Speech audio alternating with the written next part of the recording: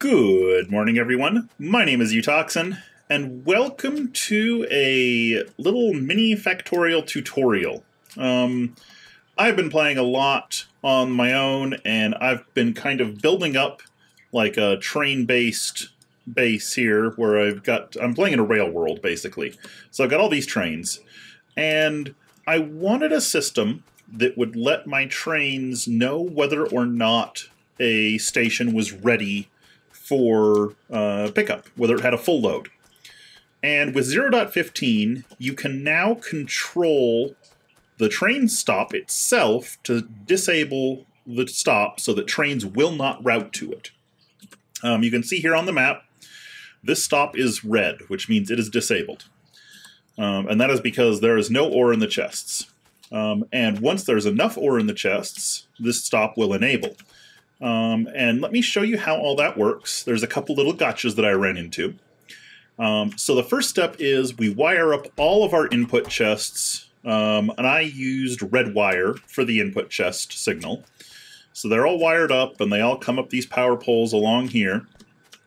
And the red signal comes into this decider combinator. And I'm running 242 trains, which means they can carry 8,000 ore per load. Um, and so I check whether there is, and actually we can have this be greater than or equal to. That's a slight change, but you check for the type of ore in your chests, and you check to make sure there's at least a full load. And if there is, then I just output the ore signal itself. Um, it works for what I need. You could output whatever signal you wanted here as long as it was a true signal.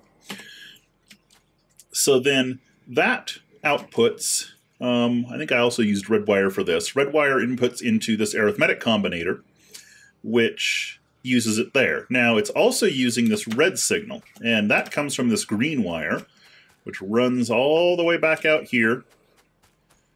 And the green wire is hooked up to the, the rail signal that controls entry to the stop. So the signal that will indicate if there's a train in here. So if this is red, there's a train. So we come back down to the end, and we look, then this is taking an ore of, you know, is there enough is there enough stuff here for a load? Is there enough copper here for a load? Or is there a train already here? If there is, I output signal S, which I use because signal. So, you know, that, that's for the, or stop. That's, that's the signal for the train stop. So that gets passed through a green wire up to here. Um, into the train stop, and the train stop is set to enable or disable, and it will enable if S is greater than zero. And S is just one if if the arithmetic combinator is if either of these is on, S becomes one, which enables the train stop. Oh. so yeah, if we then go back to the arithmetic combinator, the reason I do this OR is if a stop becomes disabled while a train is at the stop, the train will immediately leave. And so if you had, say, 8001 copper ore, and a train showed up and started loading, there would immediately be less copper ore than a full load, the stop would get disabled, and the train would leave without a full load. So what we do is we check if there's a train in the station, the stop is allowed to stay enabled. As soon as the train leaves, if there's not enough copper ore, the the S signal gets turned off, which then disables the station. So it's worked pretty well for me so far, um, and I just wanted to share that with you guys. And uh, yeah, I hadn't seen anything like it before, so I hope you enjoyed.